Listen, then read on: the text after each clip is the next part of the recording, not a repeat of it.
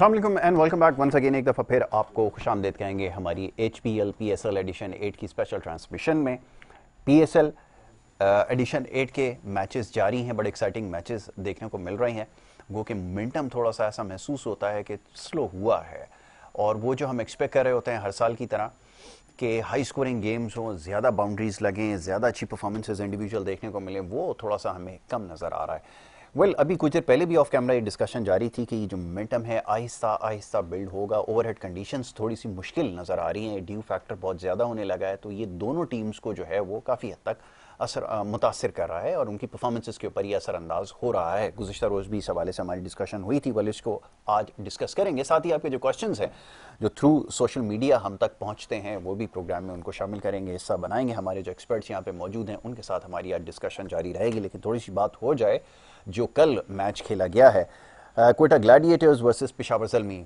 Interesting match था again बड़ा score नहीं हुआ। जैसे हम अभी बात कर रहे हैं कि 170 प्लस एटलीस्ट होना चाहिए। थोड़ी सी एक्साइटमेंट रह जाती है। कोटा ग्लैडिएटर्स ने स्कोर किया 154 रन चार विकटों के नुकसान पे। चार विकटों के नुकसान पे 20 ओवर्स में। तो ये क्यों स्ट्राइक रेट इतना स्लो रहा है यार? ये जो रन बनाने की जो शरह है, इसमें क्यों इतनी कमी आई है? इसको डिस्कस करेंगे। और पेशावर जलमी ने जब चेस किया तो छः विकटों के नुकसान पर ये स्कोर पूरा किया। एक सौ सत्तावन रन उन्होंने किया। अठारह तीन ओवर्स में ये स्कोर जो है वो पूरा कर लिया।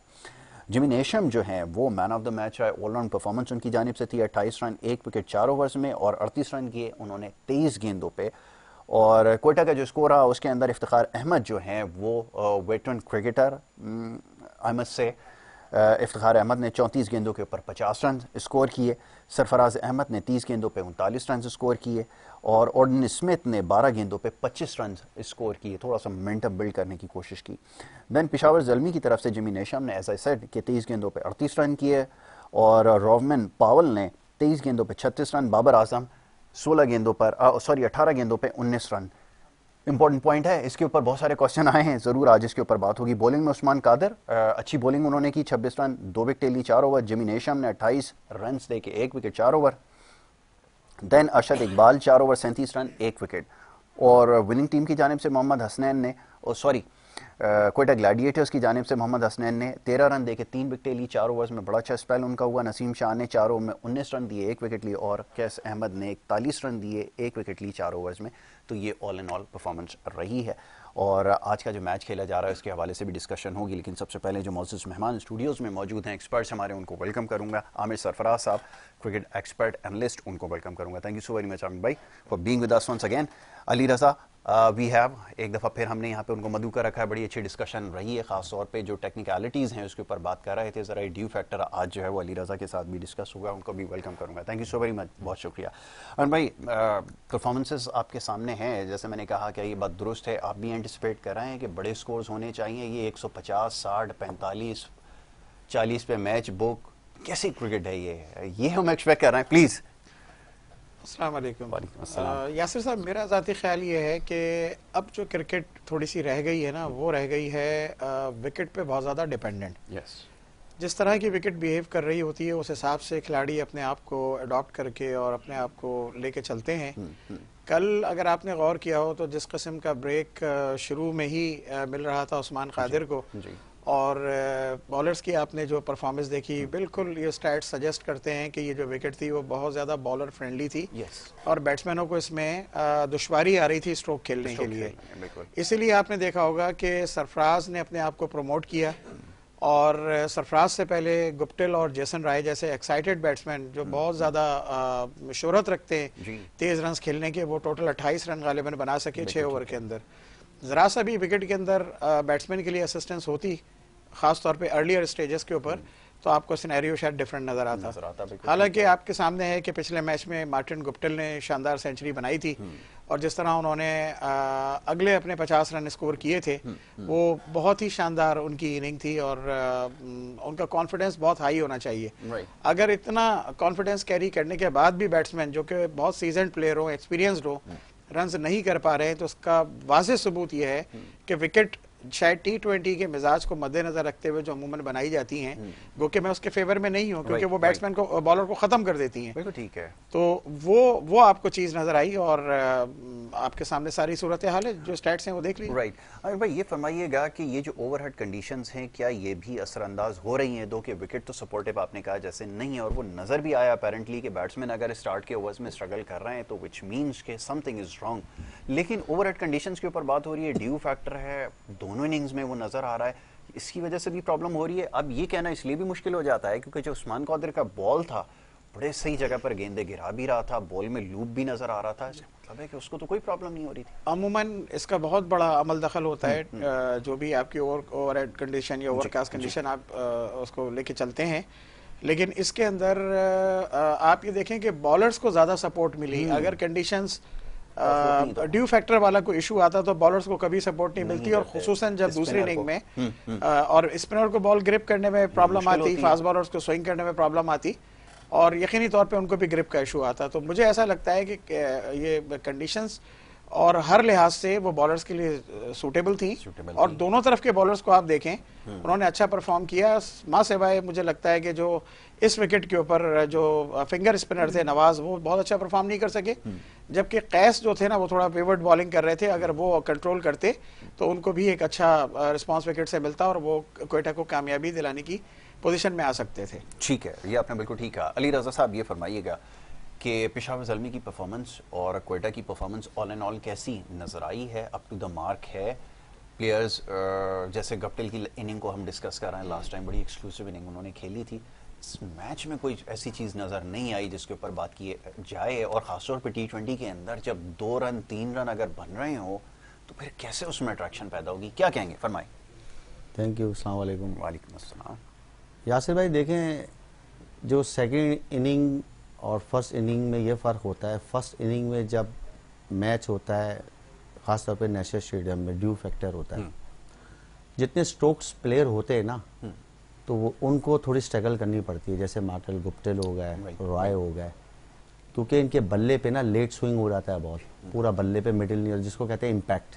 टाइम करो चार हो जाता है। ना बाबर की भी बैटिंग में वो चीज़ नहीं देखी मैं आऊँगा उस तरफ़ अभी हाँ। उसको एक तरफ़ रखते हैं तो हाँ, वो उसी, क्यूरियस केस उसी है। वजह से गुप्टिल और रॉय जो ना रन करने में प्रॉब्लम हो रही है। हाँ। खास तौर पे कराची में उनको ठीक है।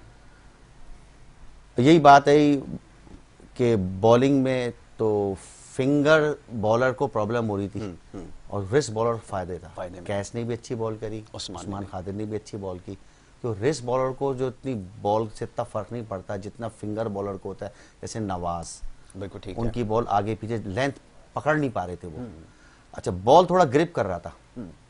उस्मान खादिर ने जैसे शुरू में बॉल डाली है तो उनका बॉल थोड़ा ग्रिप कर रहा था। ग्रिप किया था। ग्रिप कर रहा था तो इसी वजह से बल्ले पे आ नहीं रहा था उन्होंने विकेटें भी निकाली। वो जो मोमेंटम बनाया वो जो प्रेशर बनाया ना उस वजह से जो है ना थोड़ी सी ना प्रॉब्लम में आ गई कोयटा। ये थोड़ी सी वजह थी ये फैक्ट था। और दूसरा फैक्ट था कि टारगेट इतना ज़्यादा नहीं था। अगर ऊपर से सही तरह मतलब बॉल हो जाती तो उसका रिज़ल्ट कुछ और होता है। लेकिन मैच मिडिल कोई खास स्कोर नहीं हुआ। जैसे स्कोर चला था 180 से ज़्यादा स्कोर हो रहा था। 150 का मतलब है तो विकेट थोड़ी सी प्रॉब्लम कर रही प्रॉब्लम कर रही थी ये तो पता चल गया लो स्कोर देख के। आमिर भाई ये फरमाइएगा कि ये ज़रा बॉलर्स की बात करेंगे हसनैन के और नसीम के स्पेल की। लेकिन क्या करें ना चाहते हुए जो सबसे ज़्यादा सवाल हो रहे हैं वो बाबर की परफॉर्मेंस के हवाले से हो रहे हैं। प्लीज़ प्लीज़ इसके ऊपर ज़रूर कमेंट करें क्योंकि 18 गेंदे 19 रन 15 गेंदे 16 रन 22 रन ये परफॉर्मेंस क्या आप, जो हम पिछले मैच में डिस्कस कर चुके हुए हैं क्या फिक्रमंद होना चाहिए क्या सोचने की ज़रूरत है मैनेजमेंट को भी? जी। देखें मुझे तो इस बात की फ़िक्र गुजशत कई सालों से है क्योंकि मैं कभी भी कन्विंस्ड नहीं रहा हूँ कि बाबर आज़म को एज ए ओपनर पाकिस्तान की टीम से खेलना चाहिए या किसी भी फ्रेंचाइज से खेलना चाहिए। जिस किस्म के वो खूबसूरत बैट्समैन हैं और जो उनकी क्लास है उसको मद्देनज़र रखते हुए उनके लिए नंबर जो आता है वो आता है पावर प्ले ख़त्म होने के बाद। हाँ, ताकि वो जो उनके दिलकश स्ट्रोक है वो हमें देखने को मिले और उन पर एक एक्स्ट्रा प्रेशर ना हो कि मैंने सर्किल को यूटिलाइज करना है। ठीक है। हमारे यहाँ एक ग्रीड होती है और उर्दू में शायद होका भी कहते हैं कि बस मैं ही सब कुछ कर जाऊँ। उस ग्रीड से हमें बाहर आना पड़ेगा। अगर हम उस ग्रीड से बाहर नहीं आएँगे और सिर्फ़ अपना नहीं सोचेंगे पाकिस्तान का सोचेंगे तो शायद ये बहुत बेहतर है- एक डिसीज़न हो कि बाबर जो है वो तीन या चार नंबर पे बैटिंग करें। और उनकी जगह पे माजी के अंदर मैं समझता हूँ कि हमने ज़ाया किया किसी भी वजह से शर्जील खान को कम के बाद भी शान मसूद एक वक्त बहुत अच्छी एक्साइटिंग बैटिंग कर रहे थे वो भी ओपन नहीं कर सके। मोहम्मद हारिस ने साल डेढ़ साल दो साल पहले आपको दिखाया कि उसके पास पोटेंशियल है। शॉट्स हैं आप उसको ग्रूम करें अपॉर्चुनिटी दें वो शायद परफॉर्म करे। और अब मुझे लग रहा है कि साइम अयूब गो कि कल वो बहुत अच्छी गेंद का शिकार हो गए। और वो साइम अयूब भी जो है ना अगर उनको जगह पे चांस नहीं मिला और वो पीछे गए तो शायद उनको भी हम ज़ाया कर देंगे। अभी भी मैं ये कहता हूँ कि अभी इट्स नेवर टू लेट वाली जो बात होती है हम्म। बाबर को चाहिए कि वो अपना नंबर चेंज करें तीन चार पर आए ठीक है। वर्ल्ड में उनकी पोजीशन खराब होगी लेकिन पाकिस्तान की रैंकिंग वो इम्प्रूव होगी हम्म। और इनके स्टैट्स भी खराब नहीं होंगे। ये मैं पूरा कॉन्फिडेंट हूँ। जो उनकी क्लास है। बिल्कुल ठीक है, ये आपने बिल्कुल ठीक कहा और ये बड़ा फेयर एनालिसिस है। देखें, ये बात सारे ही जितने भी एनालिस्ट हैं क्रिटिक्स हैं, वो इस बात को ज़ोर दे रहे हैं एम्फेसाइज कर रहे हैं कि बाबर को ये बैठ के सोचना पड़ेगा। ये डिसाइसिव मोमेंट है कि आपके पास अभी लोकल टूर्नामेंट के अंदर अगर आप परफॉर्म नहीं करेंगे और अगर वो जो प्रॉब्लम आपको वर्ल्ड कप से पहले चली आ रही है, जिसको हाईलाइट कर रहे हैं तो फिर आगे जाके प्रॉब्लम होगी। इससे देखें, उनके इंडिविजुअल स्टार्ट तो बेहतर हो रहे हैं। लेकिन टीम की परफॉर्मेंस के ऊपर फ़र्क पड़ रहा है और अगेन हमें ये बात समझनी होगी कि बाबर के ऊपर बड़ी रिस्पॉन्सिबिलिटी है क्योंकि he is the captain of the side तो ये प्रॉब्लम है शायद कोई एड्रेस नहीं कर पा रहा। एड्रेस आपको पता है कि बदकिस्मती हमारी है कि लॉबिंग चलती है नेपोटिज्म का तो हमें अंदाज़ा है ही कि जो पाकिस्तान की टीम में बदकिस्मती से है पोलिटिसाइज भी हो गया है। जी। अगर आपकी नेशनल असम्बली के स्पीकर और सेनेट के कुछ लोग अगर आके ग्राउंड के अंदर बैठ के और टीमों को फाइनल करें और लोगों को लेके चलें तो आप कहीं पे भी इनसाइडर है वैसा ये तो आ, अब ये ये एक ओपन सीक्रेट है। इनसाइडर हम्म, वाली हम्म, बात हम्म। नहीं है मतलब हर हर शख्स के। Exactly, एक आपने और टर्मिनोलॉजी सुनी होगी रोटी गैंग की। जी जी वो रोटी गैंग के चक्कर में ऑब्लिगेशन के चक्कर में बहुत सारे जो प्लेयर्स थे उनको मौका नहीं मिल सका और उनको मौका ना देकर आपने पाकिस्तान की खिदमत नहीं की है। नहीं की। अब बात यह है कि इन चीज़ों को जो है ना हर हर शख्स देख भी रहा है। लेकिन चूँकि टू बी वेरी ऑनेस्ट वो परफॉर्मर इतने बड़े हैं प्लेयर इतने बड़े हैं और उनको एक पोजीशन ऐसी दी भी है कि उनको अब्लाइज करना पड़ता है।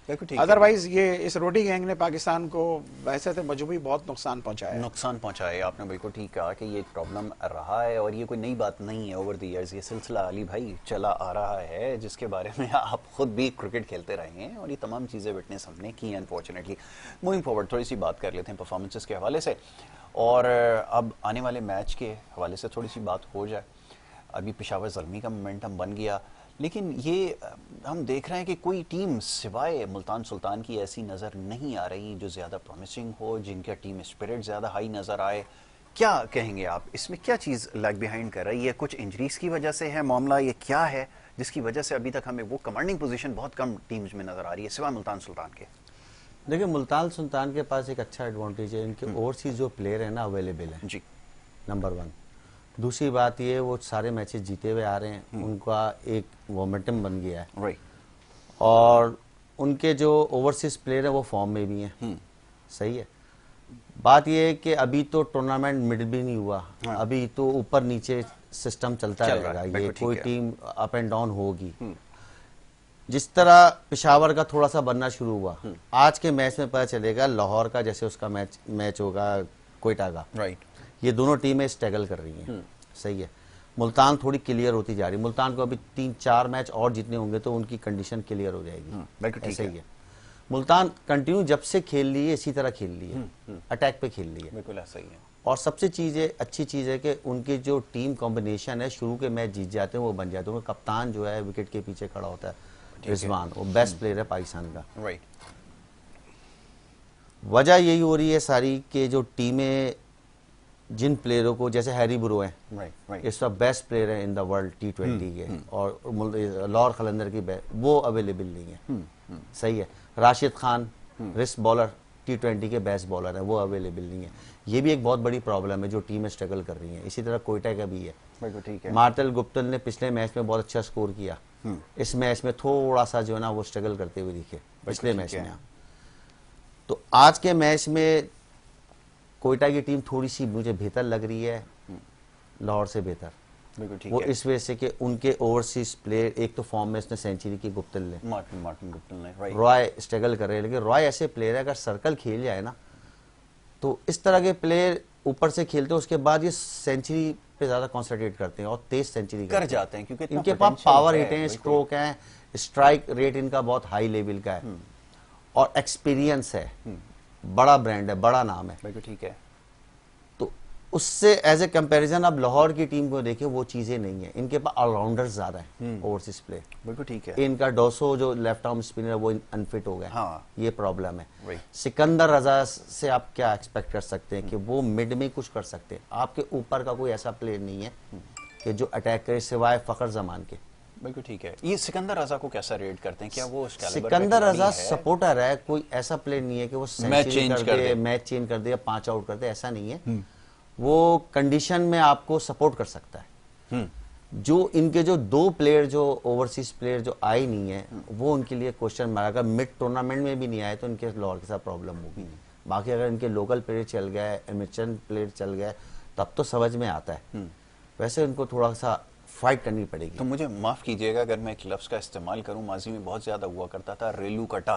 तो क्या उसको ये समझा जाए आमिर भाई कि वो आधा बॉलर और आधा बैट्समैन है? क्योंकि देखें स्पेशलाइज होना ज़रूरी है। कहीं आप ये ऑलराउंडर जिस तरह के मतलब आई मीन आप देखें जैसे इंग्लैंड की टीम है और इस वक्त एग्जिस्टिंग जो इस वक्त प्ले, प्लेइंग इलेवन है वो देखें और फिर उनकी जो बी टीम है वो देखें। बी टीम से मुराद ये कि जो उनके पास बैकअप में है फिर उसके बाद एक टीम और मौजूद है। अगर उसको भी देखें पूरी लॉट में आपके पास नंबर ऑफ़ प्लेयर्स हैं अब एक लॉट है आई मीन हिटर्स की बॉलर्स की ऑलराउंडर्स की। आई मीन ऐसा कॉम्बिनेशन मैंने नहीं देखा। तो वहाँ उसको देखते हुए अब ये अगर इंडक्शन देखूँ मैं सिकंदर आजा की तो कैसा आप इसको देखते हैं? देखिए समटाइम्स प्लेयर्स की अवेलेबिलिटी का इशू होता है हाँ, ऑप्शन के अंदर अगर आप अ, के पास चॉइस नहीं बची क्योंकि हर आदमी की अपनी एक टर्न होती है जिस वक्त आपको पूरा प्रोसेस का अंदाज़ा होगा। बिल्कुल ठीक है। कि जब आप प्लेयर्स को सिलेक्ट कर रहे है कि मेरी बेड में अगर कोई बेड में अगर कोई आ जाए जी जी। फिर अच्छा आपको और तो पूरी सारी चीज़ों को मद्देनजर रखते हुए कि किस कैटेगरी से कितने लोगों को लेना है क्या करना है। अब अगर इनके पास ये आया है ये बहुत प्रॉमिसिंग क्रिकेटर है इसने बड़ा परफॉर्म किया है। और इस वक्त मेरे ख्याल में जिम्बाब्वे का one of the best player player है, yes. और ये और बात है कि अभी इनको साबित बहुत कुछ करना है। जैसे अली रजा भाई ने कहा कि शायद मैच विनर नहीं है लेकिन मैच विनर से कम भी नहीं है। हाँ। और अब दूसरी तरफ़ अगर आप आ जाएँ मैच के हवाले से मुझे थोड़ा सा ऐसा लगता है कि इस वक्त जो लाहौर की जो बैटिंग जो घूम रही है वो शायद फखर जमान के इर्द गिर्द घूम रही है. अगर फखर जमान जो है वो परफॉर्म कर जाते हैं तो लाहौर के लिए बड़ा आसानी हो जाती है। अगर वो नहीं करते हैं तो उनके अलावा कोई ऐसा बैट्समैन नज़र नहीं आ रहा जो तन तनहा उनको मैच जितवा सके। तो ये एक वाज फ़र्क आपको नज़र आ रहा है। अच्छा आज आपने देखा कि जो एक्सपेक्टेड है कि जिस तरह हसनैन बॉलिंग कर रहे हैं और नसीम शाह बॉलिंग कर रहे हैं तो वो इतनी आसानी से शायद इनको रन भी ना करने दें। Yes. लाहौर कलंदर्स के प्लेयर्स को। दूसरी तरफ़ अगर पेपर पे हम देखते हैं तो लाहौर कलंदर के मुकाबले में शायद कोयटा ग्लैडिएटर्स की जो बैटिंग है वो नस्बता ज़्यादा कंपोज्ड है ज़्यादा एक्सपीरियंस्ड है और ज़्यादा एक्साइटिंग प्लेयर उनके पास मौजूद है उनके पास है जी। अच्छा स्पीकिंग ऑफ़ फॉरेन प्लेयर्स अगर इसकी बात की जाए तो ये जैसे हम देखते थे कि राशिद खान है ये वो ये इस वक्त आई मीन दुनिया के बेहतरीन क्रिकेटर्स हैं टी ट्वेंटी के अंदर.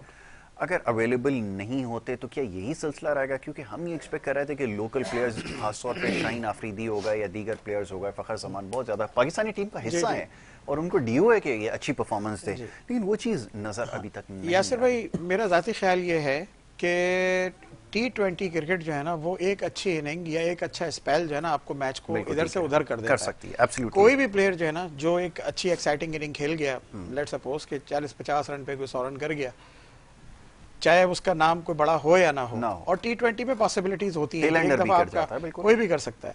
और इसी तरह से अगर कोई बॉलर जो है वो अच्छा स्पेल कर गया तो आपको क्रिटिक क्रिटिकल स्टेज के ऊपर तो वो आपको जो है ना मैच को इधर से उधर कर देता है। बिल्कुल ऐसा ही है। मुझे ऐसा लगा मैं जरा सा आपकी इजाज़त दे तो पिछले मैच के हवाले से बात ज़रूर करूँगा। ज़रूर कीजिए। कि मेरे फेवरेट कप्तान हैं सरफराज अहमद और मैं कहता हूँ पाकिस्तान की तारीख में जो जहीन तरीन क्रिकेटर्स गुजरे हैं उन चंद मैं ये तो नहीं कह रहा कि सबसे ज़्यादा लेकिन one of the smart street smart you can जी बिल्कुल।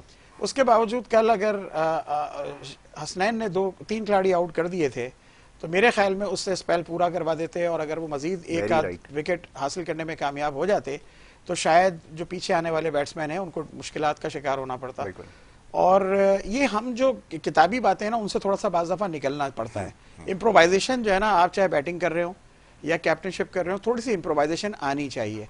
और अडॉप्ट करनी चाहिए, लेके चलना चाहिए। अगर आप उसको इम्प्रोवाइज नहीं करेंगे कि जी हमने ये सोचा था, ऐसे कर लें, वैसे कर लें, दो शुरू के ऊपर दो आखिर के ऊपर तो शायद आपको रिज़ल्ट ऐसे ही मिलते हैं। लेकिन भाई ये फरमाइए ना कि ये जो रिस्क एपेटाइट थी, ये इतनी कम क्यों हो गई? क्योंकि सरफराज को तो I see him as a ultimate risk taker जो मुश्किल वक्त में मुश्किल फैसले करने वाला था ये इसकी वजह क्या नज़र आती है? ये जो पास्ट में जो उसके साथ हुआ है ये उस ट्रॉमा से अभी तक बाहर नहीं निकला है? आ, या फिर आपको कुछ और लगता है कि अनसर्टेनिटी अभी भी प्रिवेल कर रही है कि मैं आगे हूँगा नहीं हूँगा ये क्या होगा? ये प्रेशर भी प्लेयर को जो है वो बिठा देता है। क्या कहेंगे? यकीनी तौर पर आप बिल्कुल दुरुस्त सिमत के अंदर आपकी सोच जा रही है। मैं हंड्रेड इस बात से इतफाक करता हूँ कि जब आप किसी स्थानीय से गुजरते हैं देखें उसके साथ कितना बड़ा अलमिया था कि उसने 10 कैच पकड़े 50 रन किए और उसको टेस्ट से ड्रॉप कर दिया तीन साल नहीं खिलाया। बिल्कुल ऐसा ही है। इससे ज़्यादा ज्यादती मतलब हो सकती है? मैं मैं समझता हूँ नहीं होनी चाहिए। आप ये देखें एक तरफ़ जब रिजवान को लेकर आए तो तीनों फॉर्मेट में लाए। अब जब सरफराज को लाए तो एक फॉर्मेट में लाए। बताएँ। हालाँकि उसने परफॉर्म भी किया उसके बाद जो दीगर फॉर्मेट थे मैं ये नहीं कह रहा कि रिजवान अच्छा परफॉर्म नहीं कर रहा है लेकिन कहना सही है। लेकिन बात यह है कि जब एक प्लेयर को हटा के लेकर आए एक वैसे एक और बात इस पे मुझे याद आ गई इस वक्त कि सरफराज जो टीम से बाहर हुए थे अपनी दो वजूहत की बिना पे एक वो ओवर कॉन्फिडेंट थे। जी। थोड़ा सा फिटनेस के ऊपर उनका फोकस शायद कम नहीं था था। हो गया था क्रिटिसाइज हो रहे थे। दूसरा उन्होंने जो है नाफरमानी की थी। जी। नाफरमानी करने का नतीजा ये निकला कि वो उसने एक ऐसे इगोइस्टिक आदमी की बात मानने से इनकार किया कि जो दुनिया के सामने खड़ा हो जाता है अपनी अना के लिए। जी। अनफॉर्चुनेटली बिल्कुल और ये एक ओपन सीक्रेट है। ना वो उनके मशवरे पे टॉस जीत के आ, आ, उनको बैटिंग कराते। जी। जबकि पूरी टीम मैनेजमेंट और वहाँ पे जो पाकिस्तानी क्रिकेटर्स मौजूद थे सबका ख्याल ये था कंडीशंस को विकेट को देख के कि सरफराज का फैसला सही था। बैकफायर हो गया दैट इज़ समथिंग एल्स बिल्कुल सही बात। लेकिन उस इगोइस्टिक आदमी ने इसका तीन साल तक जो है जब तक वो पावर में रहा उसने इनको क्रिकेट नहीं खेलने दी। बिल्कुल और वैसे भी आपको पता है I am not biased but थोड़ा सा जो है ना हमारे यहाँ एक नेपोटिज्म और फेवरेटिज्म चलता है। बिल्कुल है। ग्रुपिंग भी चलती है शहरों के भी मामला हैं। हम्म। तो ये बड़ी इनकी फ्रजाइल पोजीशन थी और वो जो है उसका दूसरों ने फ़ायदा उठाया और उनको बाहर कर दिया। अमीन हम आज भी सोचते हैं अली रजा भाई के पाकिस्तानी टीम टी ट्वेंटी में पहले नंबर थी। एक एक स्ट्रीक बनाई थी कि आप बैक टू बैक मैचेस जीत रहे थे। 11 सीरीज़ आपने बैक टू बैक जीती हैं एग्जैक्टली. एग्जैक्टली तो ये एक बहुत बड़ी अचीवमेंट थी। और अनफॉर्चुनेटली मैं आज भी याद है कि जिस परफॉर्मेंस की बेसिस पे उसको हटाया गया अमीन वो उस सीरीज़ के अंदर against Sri Lanka best run scorer Sarfaraz Ahmed ही था। और फिर आपने दो प्लेयर्स की उसमें आउट ऑफ़ नोवेयर इंडक्शन की है, उसमें एक उमर अकमल को डाला, एक अहमद शहजाद को डाला, जब हम भी ये सवाल कर रहे थे उनसे पूछ के कि भाई ये कहाँ से लेकर आए, कोई जस्टिफिकेशन हो, कोई टेक्निकल इसकी आप वो बताएँ कि उसकी परफॉर्मेंस ऐसी क्या है डोमेस्टिक के अंदर। आपने उनको ज़बरदस्ती शामिल किया, वो मैच हारने का आपका सबब बने और नतीजतन आपको सरफराज को निकालना पड़ा और तीनों फॉर्मेट से बाहर कर दिया गया। तो ये अगर सिलसिला होगा तो प्लेयर चाहे कितना भी बड़ा हो, ख्याल ये है कि वो क्लैप्स कर जाएगा। और शायद यही कुछ उसके साथ हुआ है बट वो जो ऊपर बैठा है वो बेहतरीन इंसाफ करने वाला है। जो उसका कमबैक है उसकी मिसालें अभी तक दी जा रही हैं। जी। आमिर भाई की बात से मैं इतफाक करता हूँ। उन्होंने बिल्कुल सही बोला सरफराज के बारे में। देखिए सरफराज जो है ना एक ब्रेव कप्तान और ब्रेव क्रिकेटर है। है बिल्कुल। टैलेंट से ज़्यादा जो है ना वो स्ट्रांग है। एक होता है टैलेंटेड तो नेचुरल नेचुरल से अच्छा मेंटली वो स्ट्रांग है। अच्छा क्रिकेट में मेंटली स्ट्रांग बहुत एक क्वेश्चन मार्क आपने लगाया है या था? है है। है।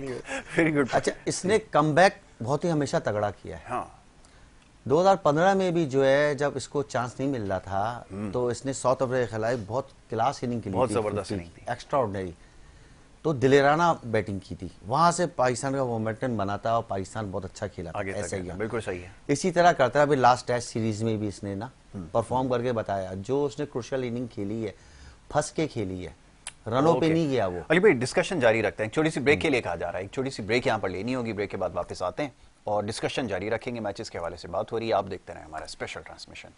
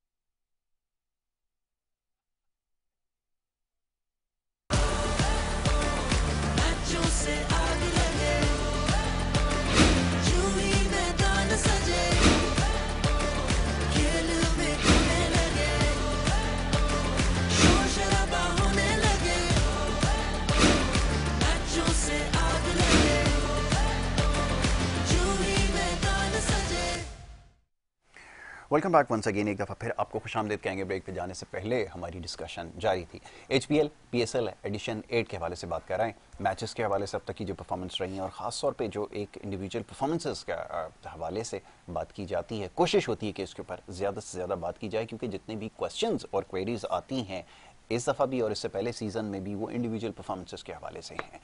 ये जो ख़ास तौर पर हमारे स्टार प्लेयर्स हैं इनको लोग परफॉर्म करते हुए देखना चाहते हैं लाइक सरफराज अहमद, बाबर आज़म और दीगर जो खिलाड़ी हैं, शान मसूद और दीगर जो हमारे प्रॉमिसिंग क्रिकेटर्स हैं लाइक फ़खर जमान, जिनके ऊपर अभी एक ड्यू है, अच्छी परफॉर्मेंस जो कि आज हम होपफुली देख सकते हैं।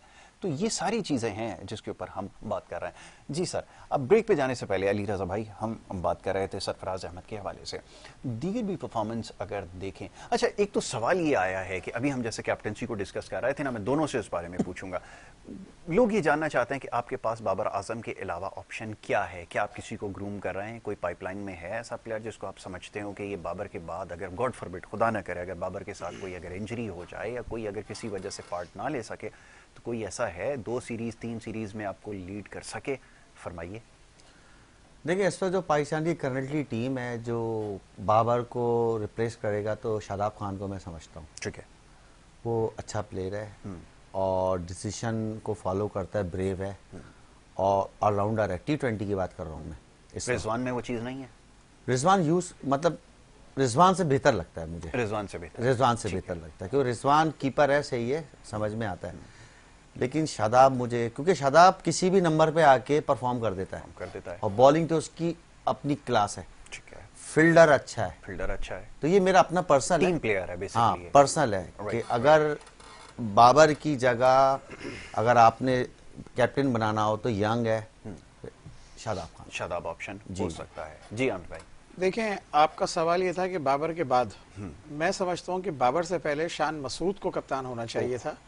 जितनी उसके अंदर मेच्योरिटी है क्रिकेट को खेलने की देखने की समझने की और लेके चलने की है। होना चाहिए। क्रिकेटिंग ब्रेन है और मेरा ख्याल है कि न सिर्फ़ हम तीनों बल्कि पूरा पाकिस्तान इस बात पे एग्री हुआ कि जिस वक्त बाबर को कप्तान बनाया गया था वो उसके साथ ज्यादती हुई थी उसको कुछ अरसा एज ए वाइस कैप्टन लेके चलते यस और ग्रूम करते उसको फ्रेंचाइज की कैप्टनशिप देते उसको कम से कम क्लब क्रिकेट में कप्तान बनाते।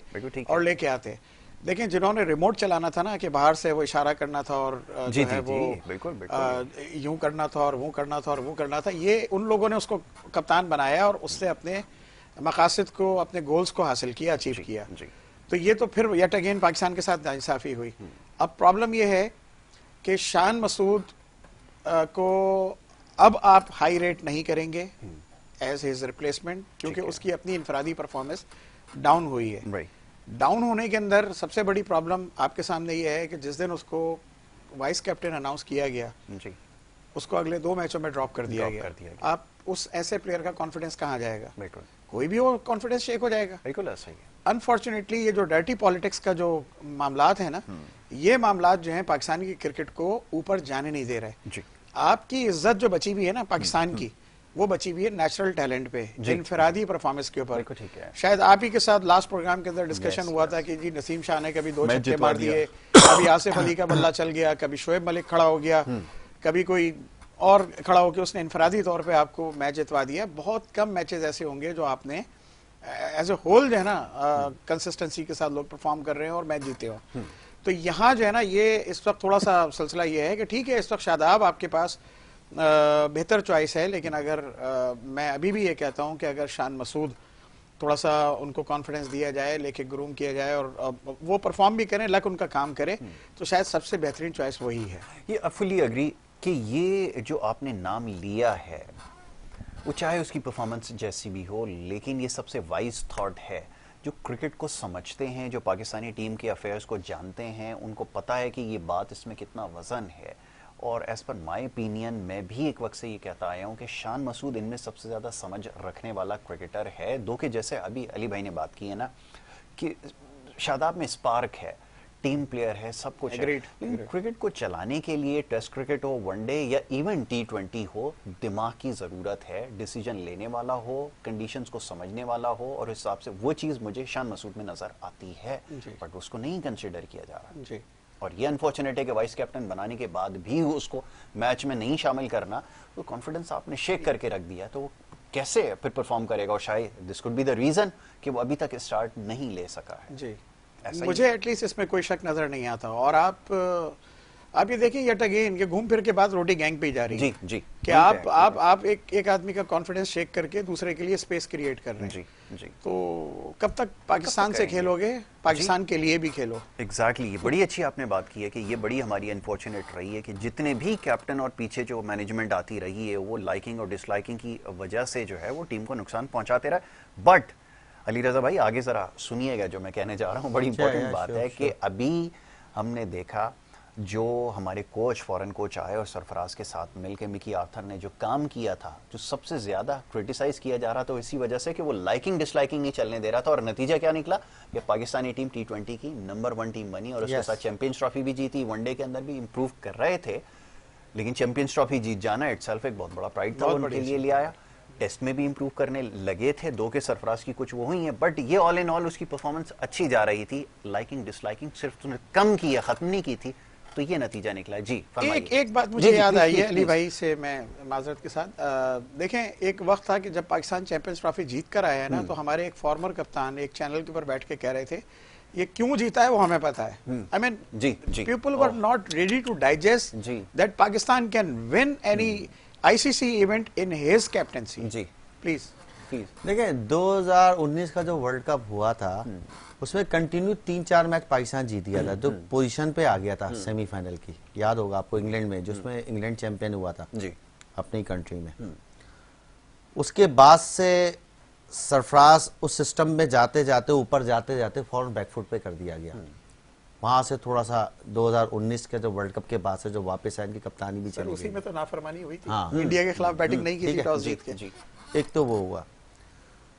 दूसरी बात ये कि आप सरफराज इसमें कोई शक नहीं है कि बाबर और सरफराज से अच्छा कप्तान इस वक्त जो पाकिस्तान टीम में जो चल रहा है ना नहीं है। बाबर आज़म हाँ यही दो हैं। अभी तीसरे को ऑप्शन नहीं मिला। ठीक है। सही है। मैं ये समझता हूँ कि जैसे पीएसएल ये चल रहा है पीएसएल में एक तरफ़ शादाब कर रहा है एक तरफ़ बाबर कर रहा है एक तरफ़ सरफराज कर रहा है तीन कैप्टन कर रहे हैं। तीनों का ही कंपटीशन है। शाहीन भी उसका हिस्सा बन गए शाहीन को तो खैर बना दिए गए हैं, या हाँ बना दिए उस, उस लेवल पे अ, मतलब नहीं बोलूँगा इन दोनों के तीनों के हिसाब से ना। रही बात है कि अभी वर्ल्ड कप आ रहा है इंडिया में 2023 का जो वर्ल्ड सितंबर में इंडिया में। ये तीनों कैप्टनों की परफॉर्मेंस कप्तानों की भी देखी जाएगी। जी। बाबर दुनिया का नंबर वन बैट्समैन है और इसमें कोई शक नहीं है। है। वर्ल्ड क्लास प्लेयर है। बिल्कुल ठीक है। बाबर फ़र्स्ट चॉइस है इसमें कोई शक नहीं है। बाबर वॉल्टियर तौर पे अगर वो अपने आप को चाहे कि मुझसे परफॉर्मेंस हो जाए तो सरफराज हो गया शादाब हो गया। आगे फॉरवर्ड कर सकते हैं। मैं ये नहीं कह रहा सोच कहाँ से लेकर आएँगे? ये, ये- कैसे ये- जब ये- पाकिस्तानी ये सोच जब होती है- तक लोग ये खेलते हो ये सोचकर खेल रहे हो कि हम अगर नहीं परफॉर्म करेंगे तो हमें निकाल दिया जाएगा। वो सिर्फ़ अपने 35 रन दो आउट देखिए ये टोटल परफॉर्मेंस बाबर ने इतनी परफॉर्मेंस कर दी है ये बात तो खैर छोड़ दें अब माशाल्लाह रनों के पहाड़ कर दिए उसने इसमें कोई शक नहीं है। वॉलेंटियर मैं बोल रहा हूँ। अगर वो कह गया मैं थोड़ा रेस्ट करना चाहता हूँ कि या वाइस कैप्टन बना पाकिस्तान की आपको नहीं लगता सर इंडिविजुअल परफॉर्मेंस और कैप्टनशिप दो अलग चीज़ें अलग चीज़ें हैं। बड़े बड़े प्लेयर्स उनको साइडलाइन कर दिया गया बड़े अच्छे अच्छे स्कोर्स थे देखिए, वो चीज़ आपकी- तो। तेंदुलकर ड्रेविड गंगोली ये सब के सब जो है वो धोनी के अंडर खेले हैं वो बड़े हम्म, प्लेयर थे बड़े नाम थे। कैसे मुमकिन हो सकता था? तो मतलब ज़रूरी तो नहीं है कि अगर कोई बड़ा प्लेयर है तो वो टीम का कप्तान हो। तीन बड़े टूर्नामेंट में ना आप फिनिश नहीं कर पाए। एक एशिया कप लास्ट ईयर का दुबई में world cup T twenty then now अभी। बिल्कुल अभी वाले वर्ल्ड फिनिश नहीं कर पाए। फिनिश नहीं कर ये क्वेश्चन मार्क है। आप प्लेयर बहुत क्लास के लेकिन आपके प्लेयर भी अच्छे हैं। आप इंग्लैंड से भी फाइनल हार गए आप। वो सेमीफाइनल में अनबिटन चल रहे थे। आप कैच को रो रहे के हसन अली ने कैच छोड़ दिया। भाई कैच तो पार्ट ऑफ़ द गेम है। हाँ। तीन छक्के उसने कैसे मार दिए शाहिन बिल्कुल शाह अफरीदी को? अच्छा मैं आ भी उसी तरफ़ रहा था। क्योंकि वक्त हमारे पास कम है ना मैं चाह रहा था थोड़ी सी पीएसएल के हवाले से बात हो जाए। जरा प्लेयर्स की परफॉर्मेंसेस के हवाले से। आपने अब शाइन का नाम ले लिया। अब जरा उनकी फिटनेस के हवाले से बताएँ। मैं पेस देख रहा था कि हमारे यहाँ बॉलर की और खास तौर पे ये होता भी है कि आप फास्ट बॉलर की अगर परफॉर्मेंस को देखते हैं जज करते हैं तो देखते हैं कि उसका पेस कितना जनरेट कर रहा है। अब उसका पेस जो है वो ग्रेजुअली और स्लोली कम होता जा रहा है। दैट शोज़ के 100 परसेंट वो फिट नहीं है। अभी आमिर भाई ने निशानदेही कर दी। दबे लफ्जों में बड़ी वो, वो कर दिया कि उसको लाया जा रहा है। अब ये जो लाए जाएगा अगर तो फिर प्लेयर किधर जाएगा और खासतौर पे फास्ट बॉलर जो एक आपके पास अच्छा फास्ट बॉलर है। क्या समझते हैं? देखिए नी इंजरी जो है ना उसमें टाइम लगता है। और फ्रंट नी जिस पे आप पैर का पूरा वेट आता है इनकी बॉडी का सेवन परसेंट वेट आता है राइट नी पे। जब डिलीवरी रिलीज़ करते हैं बॉल ये जेन्यन फास्ट बॉलर के लिए होता है।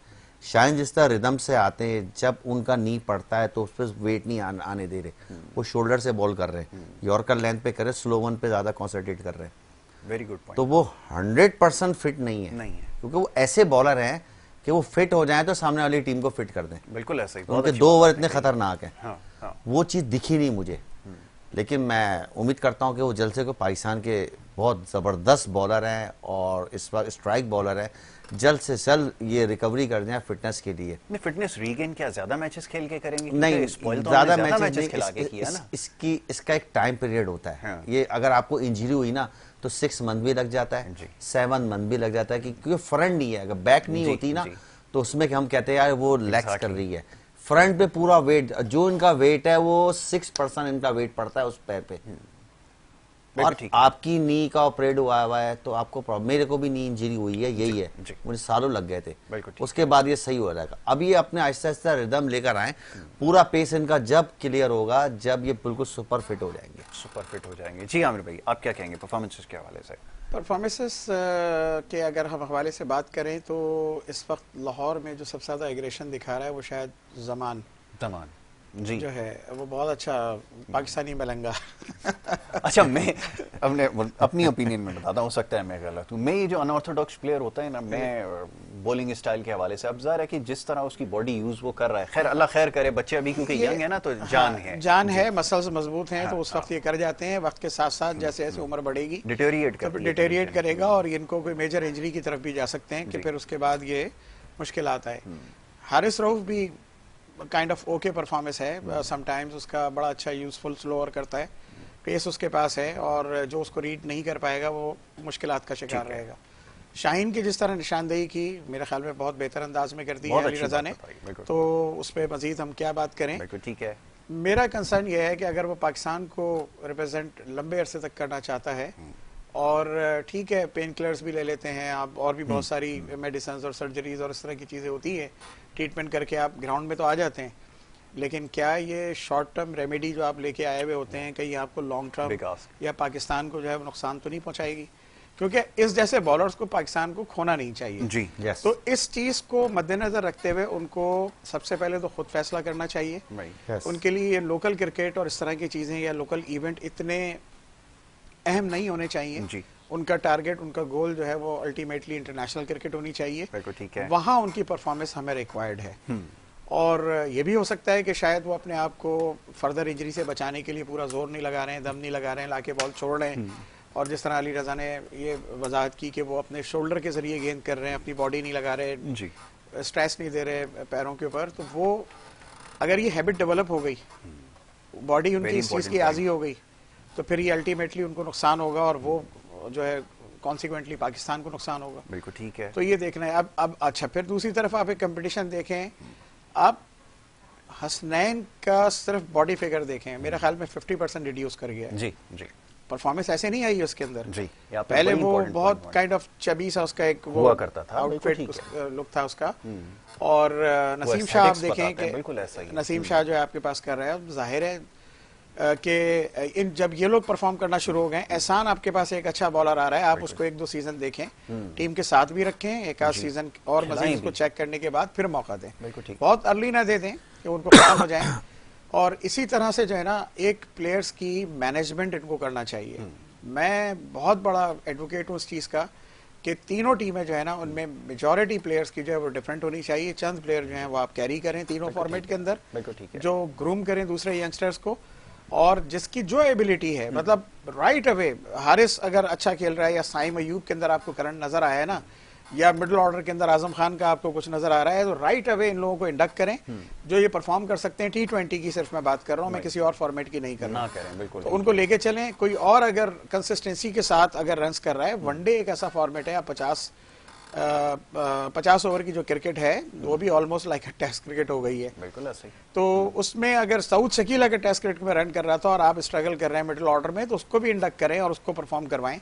इसी तरह जो प्लेयर अच्छा खेल रहे हैं टेस्ट क्रिकेट के अंदर और जो यंगस्टर हैं उनकी टीमें अलग अलग कर दें। हम्म, बिल्कुल ठीक है। कप्तान भी आहिस्ता आहिस्ता जो है ना पहले आप अगर नया लेकर आ रहे हैं पुराना नहीं ला रहे तो कप्तान भी जो है ना पहले उसको वाइस कैप्टन बनाएँ और उनको ग्रूम करके आगे ऑप्शन दूसरों को दें और पाकिस्तान की अगर खिदमत करनी है तो आगे चलें। Exactly. लेकिन अगर आप तीनों फॉर्मेट के अंदर एक ही टीम लेके चलेंगे तो उसका लोड मैनेजमेंट का जो मसला है आज शाहीन इंजर्ड हुआ है कल नसीम हो सकता है परसों हसनैन हो सकता है हारिस हो सकता है तो फिर आपके पास कुछ नहीं बचेगा at the end of the day बिल्कुल ठीक है। फ्रेश लेग्स नहीं कर पा रहे हैं। बिल्कुल ठीक है। ये आपने बिल्कुल ठीक कहा कि हमारी मैनेजमेंट की वजह से कि जो पॉलिसी है ये होना तो ये चाहिए कि वो शफल करते रहें मैचेस के हिसाब से और इम्पोर्टेंट मैचेस के अंदर ना। लेकिन अब अनफॉर्चुनेटली आपके प्लेयर से आप किसी प्लेयर से पूछेंगे ना कि आप मैच ड्रॉप करोगे? आप लेट से अगर किसी विकेट कीपर से पूछ लो इस वक्त कि आप मैच छोड़ के किसी एक को बड़ी इंटरेस्टिंग मैं आपको बात बताऊँ। जी। मैं आपको बहुत इंटरेस्टिंग बात बताऊँ। मैं ओवर 50 और ओवर 60 पाकिस्तान की टीम जो है वेटरन्स की उसके साथ साउथ अफ्रीका और ऑस्ट्रेलिया विज़िट कर चुका हूँ और हम वर्ल्ड चैंपियन भी हैं ओवर 60 के। बड़ी इंटरेस्टिंग बात यह है कि वो लोग जो चल नहीं सकते थे ना उनसे भी अगर पूछो कि मैच खेलोगे तो वो तैयार हो जाते थे और मेरी अंडरस्टैंडिंग है वो स्ट्रेचर भी पड़ा हो ना प्लेयर तो वो खेलना चाहता है। वो खेलना चाहता है कि नहीं जी मैं कल खेलूँगा। मैं कल खेलूँगा। तो ये चीज़ है ये ऐसा नशा है कि वो जगह कोई नहीं छोड़ना चाहता। बिल्कुल ठीक है। वेल आमिर सफरा साहब thank you so very much बहुत बहुत शुक्रिया आपका प्रोग्राम में शानि- शामिल होने के लिए. देन अली रजा भाई आपका बहुत शुक्रिया कि आपने प्रोग्राम में वक्त दिया. बड़ी अच्छी डिस्कशन हमारी रही है और बड़ी प्रोडक्टिव भी रही है. बहुत सारे मामला को हाईलाइट किया और इसमें ज़्यादातर क्वेश्चन वो हैं जो थ्रू सोशल मीडिया हम तक पहुँच रहे हैं. पीएसएल के मैचेस के हवाले से तो बात हो रही है. आज का जो मैच है लाहौर कलंदर वर्सेस कोयटा ग्लैडिएटर्स देखना होगा. मैच स्टार्ट होने वाला है. कुछ देर बाद और कल इंशाल्लाह जब प्रोग्राम में आएँगे तो उसके ऊपर फिर डिटेल डिस्कशन हमारी होगी। कल इंशाल्लाह मुलाकात होती है, अपना बहुत ख्याल रखें मोहम्मद यासर को और हमारी टीम को दें इजाज़त। अल्लाह ने के बाद